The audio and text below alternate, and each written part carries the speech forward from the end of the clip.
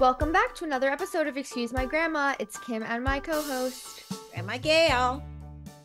So, Grandma, I'm still in New York. You're still in Florida. What have you been up to?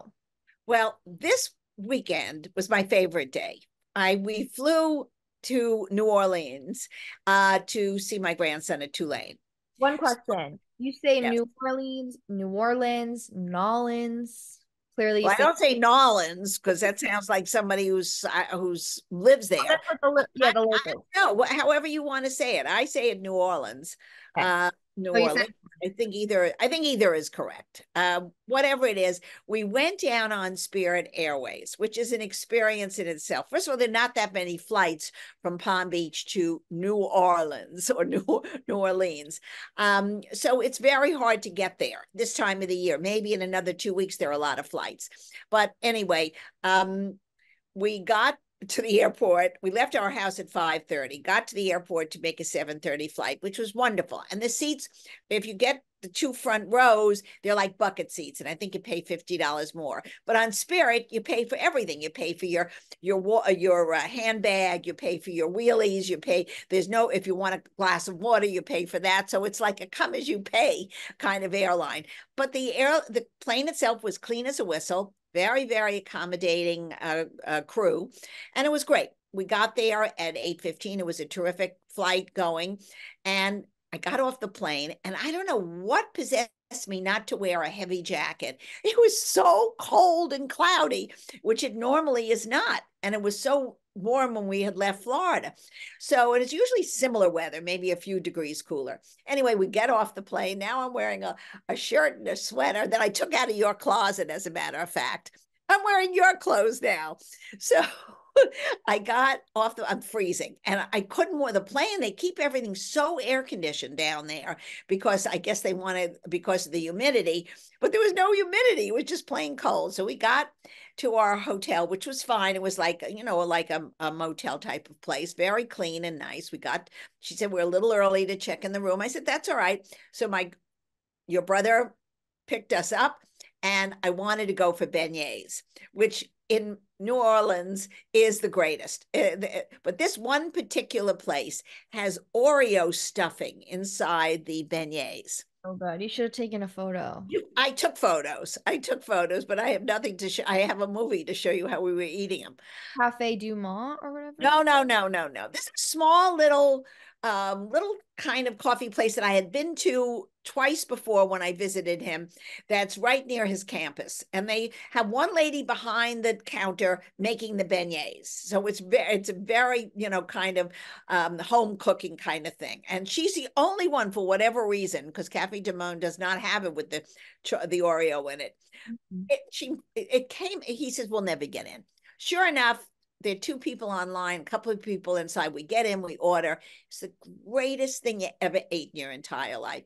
So I said, why are there no people at it? It was a Saturday now at around 1030. He said, if the sun doesn't come out on Saturday, people are depressed. Everything uh, in uh, New Orleans is dependent on weather.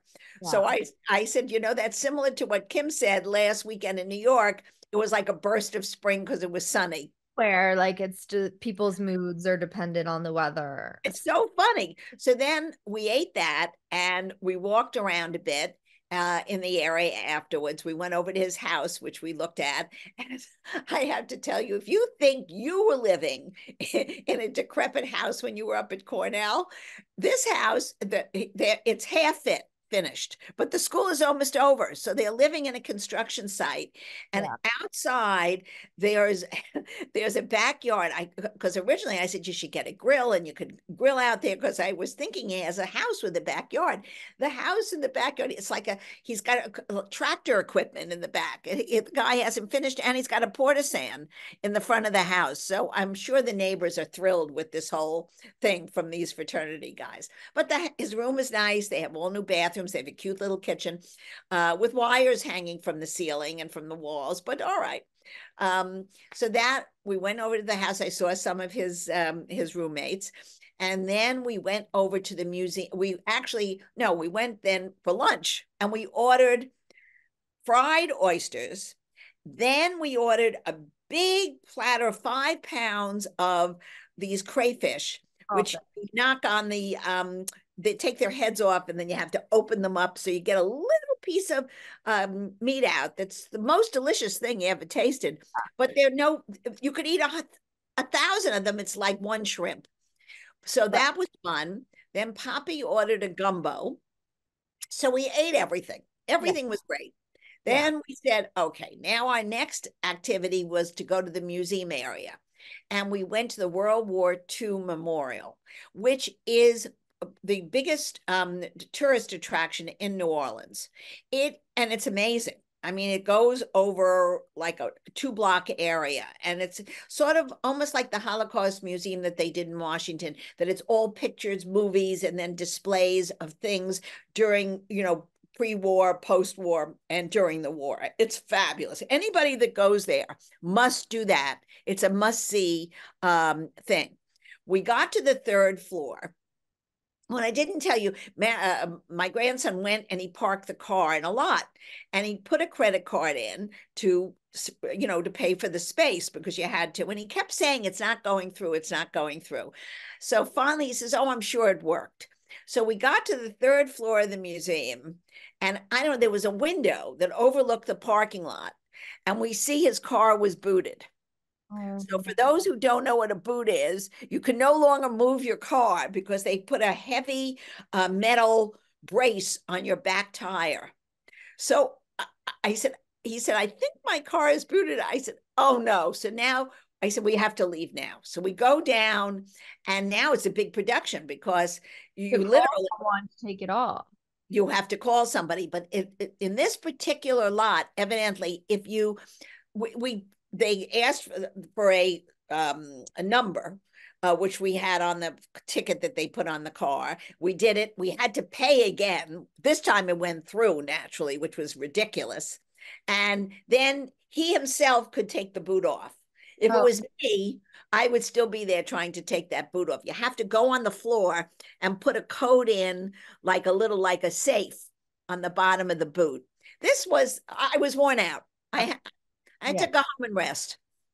So yeah. that was the end of our afternoon on Saturday. And, uh, but I have to say, for all those going to New Orleans, make a little trip. If you're going downtown to the, you know, to the, Bur- to Bourbon Street and that whole area, this, I think it's about, it's the beginning part of that, but sort of a little out. It's about 15 minutes away from downtown. It's a must see. Yeah. I feel like you started on such a high with the beignet, and then it just kept getting worse. No, no, it was getting better and better until he the boot appeared. Oh. The boot was a terrible moment. I don't think I ever had that. Yeah, I so. wish we did this Zoom while you were still there because you could have been like oh, Phil and showed me eating the the beignet. Oh my gosh, we I never ate so much in my life, and then we had a delicious dinner as well. But I don't want to discuss that. Okay, I think uh, I get the picture. Get all- the picture. Was constant eating. Yes. Well, that's really fun. You had yeah, was fun. I feel like that's more than I mean it, it, poured in New York City, so you know everything just kind of gets like the same thing. Outside and the um the like traffic's awful and all of that, but um you know I did I, I did a lot of social plans. Um, I just did dinners both nights, like girls' dinners. I've been going to the same two places. I'm trying to be more adventurous. Um, I went on one date during the day in like a hotel lobby, which is apparently f- fun, except for at 1 p.m. it was completely empty. Oh, so God. the vibes were definitely like kind of off for that. It's hard to find trendy spots get in. I was so surprised because I've heard of this, like people are talking about this place. It's like in there's this hotel called Hotel Chelsea.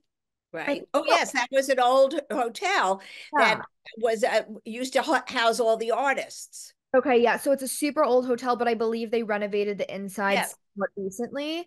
And everyone's been talking about how trendy the restaurant is. And I was so surprised you could get into this restaurant that's like so hard. And then, of course, it wasn't in the restaurant, it was just like in the lobby. So I think oh. there was like some com- miscommunication there, but that was that. Um, yeah, I don't know. It's kind of I didn't do too many things, but this week's pretty busy. On Thursday is um a UJA generosity gala, which I'm on the board for. Um, so for those who don't know, that's United Jewish Appeal, which is a uh, you know very worthwhile uh, charity uh, that also gives here as well as overseas. Yeah, um, and uh, it has 850 people coming. Oh, fabulous! Oh, that's some that's some number. That's great. Well, I think in these times, everybody has to band together. So that'll be fun. And uh, on Friday, I'm going to the opera. Oh, I love that. What are you seeing? Romeo and Juliet. Oh, I don't know. It'll, it's at the Metropolitan Opera. I bet it'll be wonderful. I've never been to an opera, and we got these tickets for free. Uh, they would have wanted me to go with you, but I'll bring a friend. Um, and we start with like a backstage experience and stuff. So I think it'll be pretty cool. Oh, that sounds wonderful. Oh, I, I'm I'm jealous. That sounds great. Yeah. Uh, otherwise, just random plans. I think the city in New York, uh, New York is supposed to be beautiful this week, starting tomorrow. So mm-hmm. I think you're going to get much warmer weather, so you'll be able to really enjoy the city. I'm surprised you don't you didn't go over to the Whitney on uh, over the weekend. That's a very nice little restaurant downstairs, also for lunch, and I love that area to walk around. I didn't do that. I know. I gather. from so the Oscars were last night and I went to watch at my friend's house and uh she just moved in with her boyfriend in um like Hudson Square, Tribeca kind of area, like along the West Side Highway. Nice. And I walked from my apartment to there. Oh, nice. Uh, which is a long walk and it was pretty windy, but it was so nice because you're kind of walking, you could walk on the West Side Highway or through Hudson Square and it's all like the old buildings and it's very quiet. It was a nice walk. Yeah. Um good. Speaking of, let's talk Oscars. Um, let's talk about the fashion first. Yeah, so, because the Oscars were non-event. Yeah, I watched it. I mean, I didn't feel like happy and like excited watching it, but I also didn't think it was bad. Like it was I kind of it was awful. I thought it was awful. I hate when people make political statements on on these kind of uh, shows, but I guess that happens all the time. It well, just think, annoys me. I think it's a mix because I think sometimes if Hollywood says nothing, we're like, why aren't you using your platform to speak up and and how are you ignoring what's going on in the world? And then when they say something political, obviously when it's one-sided in well, that's the problem. Defended and they need me to rebut the other side. Yeah, I guess. I mean, it was odd. I guess we'll st- start then with that rather than the fashion, but you're I think referring the only like really political moment was Jonathan Glazer's Oscars speech um for Zone of Interest where he I still don't really understand what he was saying. Uh, I think he's he's, uh, he's not proud of being Jewish. Then he should go. Let him go to the Soviet Union. See how good he. we talk about like this is the exact quote. He said, Right now, we stand here as men who refute their Jewishness and the Holocaust being hijacked by an occupation which has led to conflict for so many, for so many innocent people. Yeah. So he's he's pro-Palestinian, which is fine. He can do whatever he wants. Uh, but he should be a little ashamed of himself um, as a Jew to be talking about that. And also, not only as a Jew, uh, Israel was attacked on October 7th. They were not the aggressors. So you can never, they try to flip this conversation, which I find offensive. Um, you know, there are innocent Palestinians, no question, caught in um, in a quagmire. But nobody is innocent in war, and we've done this ourselves during the Second World War and the First World War. When war is war, and uh, when a country is attacked for no reason other than hatred, and religious uh, hatred, um, and their goal is to eliminate an entire race. Um, they're not. They don't want to be a partner. They're not interested. They they've refused two state solutions many times, and they don't want to negotiate the release of hostages.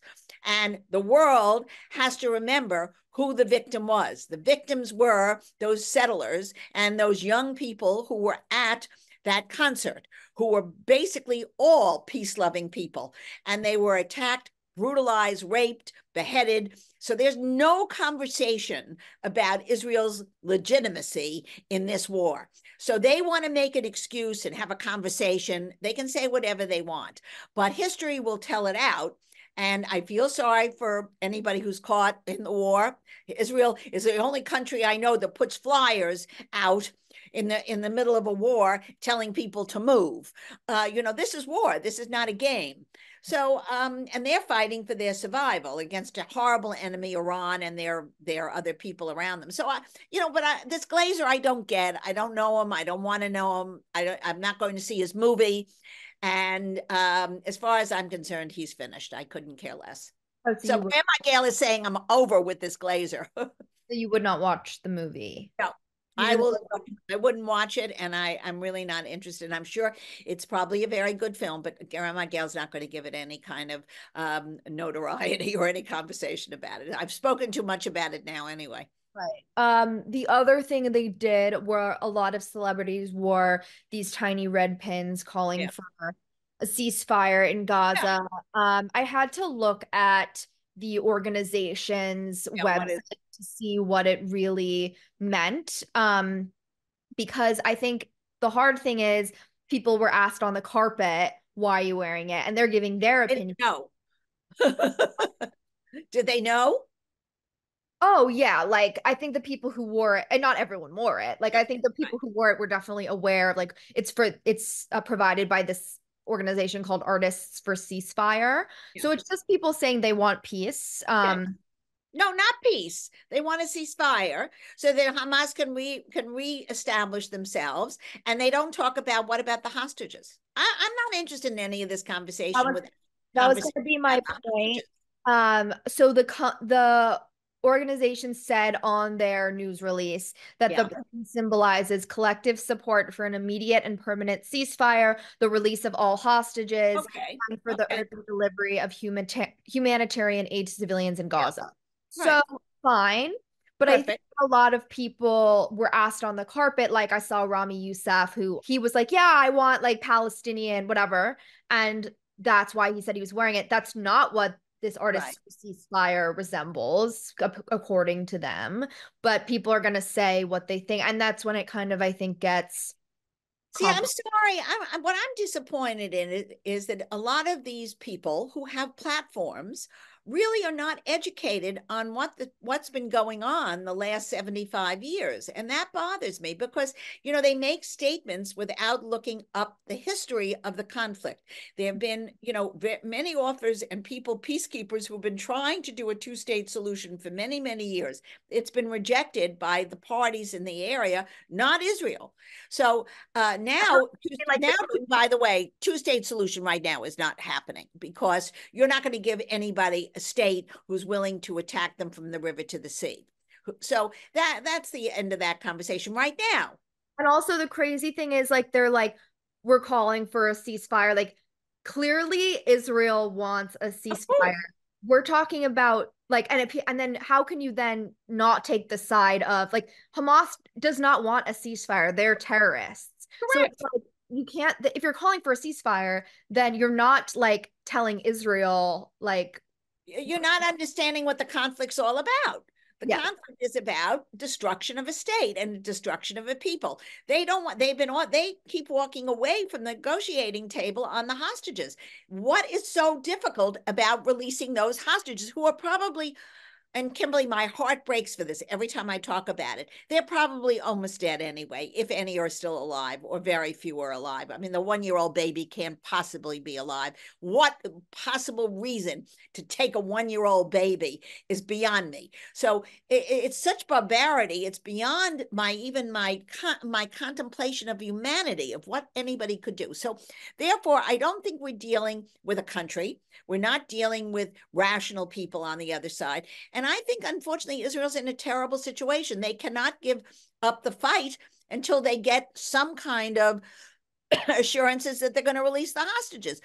Okay, let's go back to the. Let's go back to the fashion because we're not. Unfo- unfortunately, you and I are not solving this issue ourselves. I would like to. I would know how to solve it, but I want um, to talk about the the fashion. Talk about the fashion and also just any strong reactions to winners well, I loved Oppenheimer. I loved the movie Oppenheimer. I thought that deserved it. I didn't think anybody came close. And of course, the Academy felt. I think I think they got nine awards or whatever. They deserved it. Everybody who got the award deserved it. And as the the husband and wife team, which was very wonderful, they've done uh, several movies together, and they're terrific and they're brilliant. I so they deserve it. it seemed that the movie Poor Things won everything. Like they yeah. Won so many. And so I had a feeling. So the morning of, I was like, I'm going to watch this movie. Do you see it? No, I didn't see, but I'm going to see it. Don't. Well, I don't personally, I after 10 minutes, I almost threw up. I was like, it is so disturbing. It is so like um they're doing like open heart surgery and they're like poking each other's eyeballs out. I was Why? like, what was the purpose? It was like the idea was almost like a Frankenstein woman, like that he brought this woman back to life and she was uh I mean, they call her like retarded. Like she was totally uh couldn't speak and her rediscovering the world again. Um it, it was so not for me. Well, it's disturbing. People like that. People shows you where the world I think like, that shows you where the where the people are in the academy. yeah, maybe. I don't know. And listen, like Emma Stone, amazing actress. I'm yes, sure whatever. Like uh, I get it, but it was like how could people be so obsessed with this movie? I couldn't even get through the first five minutes. Okay. Well, that's what happens. You know, sometimes these little quirky movies pick up tremendous credibility and they love Emma Stone and they they love you know the, the academy goes for sometimes those quirky things yeah. which is fine i mean maybe it shows a whole different side of uh, cinematography i don't right. know there's something I'm missing. Like, and I love a quirky movie, but this was just, yeah, I don't know. My favorite part about the award show was the performance from Ryan Gosling of "I'm Just Ken." Mine too. Mine you. Well, I only came in at at when uh, Robert Downey won the the supporting actor, and I thought he was great. And then he did that song that stole the whole show. So I mean, that was fa- he's fabulous. I mean, he was terrific. That was really fun. If award shows want to stay relevant, it's with things like that, that like it's performances, it's like things that are going to be clipped on the internet and people are going to like love. Of course, you have to give the awards out and do all of that, but it's like, I don't know. Well, I, think, they I think they have zero zero income making it shorter because it what used to be so dreadful. You'd be still watching at twelve o'clock and waiting for the best picture. They know that nobody's watching after a certain point. And I have to be very truthful. Kimmel lost me. He's another one that I can stop uh. watching because he also was not funny, and he puts his own, uh, you know, uh, of course, we don't have to discuss that tweet conversation that was s- silly the, uh, the Trump shouldn't have tweeted and he shouldn't have answered the tweet. Not a real tweet? Yes. No. Yes, I looked it up today. He did tweet. He didn't do it exactly the way Jimmy Kimmel said it, but he did tweet that you're terrible. My God, I thought he was. And they and they and the producers told them not to say anything, but you can't. Oh, Trump can't help himself, and the other guys can't help themselves from answering you have like if it i mean he didn't have to but i think like if the former president is tweeting and it's that and saying you're awful it's funny to bring up. Like i i don't think that's bad to well i don't know. I thought uh, the, i don't think either one should be tweeting. The, the, both of them should just also, take his whole thing on the show is he reads mean tweets. I don't know if you've ever seen that oh is that. true? Oh i don't watch his show. Now i'm definitely watching a show anyway. And poor, and then he had to throw in George Stephanopoulos. He called him Snuffleupagus or something at that thing. I don't get the whole thing. And Trump didn't say that in the tweet. Okay. So I think he had that was, in the past before, maybe. So he just threw that oh. in for the He joke. threw that in. The whole thing became a mess. Yeah, I don't know. It it was definitely a hard watch. Um, okay, fashion wise. All right, fashion wise, my opinion, too yeah. many things around their stomach and a lot of big sleeves. There were a lot of capes going on with all kinds of ruffles. One gorgeous woman at the end, I don't know what her name, you probably know the lady in that pink dress at the end. She's so beautiful with blonde hair.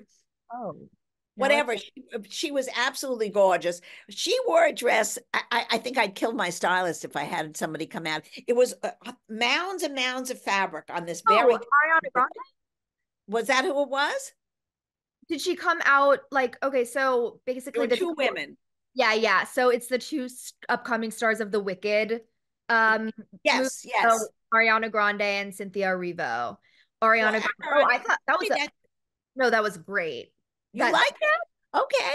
For See? her for her absolutely. Like okay. I didn't i had that no just shows you.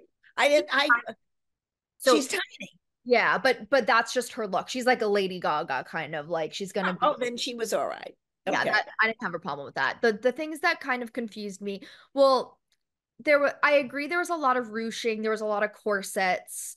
It didn't bother me. I think what was so Emily Blunt wore that gorgeous Schiaparelli gown right. that had the beads and that like V in the front. Right.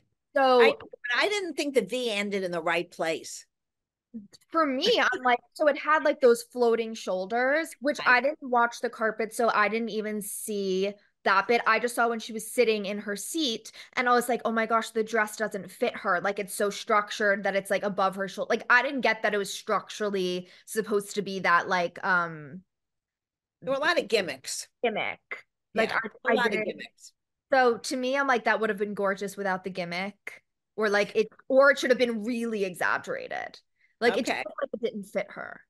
I, I don't know. I thought some of this stuff, you know, I love when they, they wear simple gowns. These girls are all, and women are all beautiful. I mean, no matter what they come out with, they always look gorgeous. The one that I thought was very pretty was the one with the black polka dot dress, the strapless, which I That's thought was beautiful. Lawrence. Yeah, she looked gorgeous.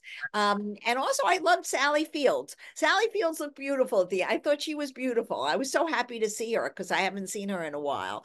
Um, uh, to me, the fashion was all right, nothing great. I thought some of the people in the audience actually looked prettier than the people that were on stage. They kept showing right. like people sitting in the front row. And I about uh, Emma Stone, like in the Louis Vuitton white with the big exaggerated kind of peplum. Well, but her dress didn't it? It, it was she ripped it in the back. In she, the back. Oh my god. In the back. So the poor girl. She, I don't know how she she did it when she was dancing, but I don't know. That was it was either too tight or something wasn't. There was a malfunction. But she called attention to that if you were her. No, I would have because she she can't close it, and she has. She went up on the stage, and she was on an angle at certain points, so she had to make a joke out of it. Actually, I thought she did pretty well with that. She was funny. So Margot Robbie, she wore that black Versace kind of corseted, sparkly dress. Okay, I don't remember. I didn't really watch the red carpet, so I have to leave this up to you. Did you love it? Uh, I'm glad she didn't wear pink. Yeah, I think she's can't look bad, but I thought that was great. But again, like that structured look that I like. You like that. Um yeah. And then did you like the Wicked Stars wore pink and green? It was all right. I mean, I didn't love any of them. The only one I loved was the sequin dress on um you know, um, uh, the one who was co-starring. America Ferrera's. I loved her. I, first of all, I thought her figure was beautiful, and it was just a very simple, pretty bodice. You would have looked pretty in that dress. I lo- I loved it on her. She looked beautiful. She lo- looked absolutely perfect. Yeah. And there were no extra pieces of material and all that other stuff with the arms and the sleeves. I simple is better, even on stage because for the except I guess like you're saying the pink was over exaggerated and she accomplished what she wanted to be but mostly I like the simple dresses better. Yeah. Um I think the dresses are better than the show. I think they should stop after the red carpet and just give give the envelope to to Al Pacino and then he would read it right away and we could go to bed at eight o'clock. He hosted the whole thing. It would be done in two seconds. Why was he like oh, I see Oppenheimer. well, I don't think anybody anybody told him he has to say the other names. I mean, maybe he didn't wasn't clued in. No, what do you mean? You say and the Oscar goes to Oppenheimer, or you say Oppenheimer. You don't say like, look, I see Oppenheimer. Like, what does that mean? Well, first of all, he didn't announce which uh, is a fault of, the, of somebody. He didn't give the other nominees, uh, you know, the the different names. I guess because in all the other categories they had passed yeah, um, stars all up there introducing the specific people. So he had to read the other names and then say, "And the winner goes to." He yeah. just went right to the card. He didn't care. Oh my gosh! I just realized that. I don't know. Well, it was over early. It was perfect. Right. I could watch Abbott Elementary right afterwards. I was thrilled. it's such a cute little show. It's about it takes place in a school, and they're all wonderful. And I think that's a very big money maker for ABC. And I think that's one of the reasons that they moved the whole Oscar thing up earlier, so it wouldn't interfere with their show. Oh, really? Uh, that's my take. I have no inside information on this, Kimberly. Nobody at ABC called me, but I have a feeling that they didn't want to eliminate that that show. And has a very wide audience. It's possible. Anything's possible. Okay, we've summed up the Academy Awards. We've summed up uh, any uh, anything else that we're looking forward to this week.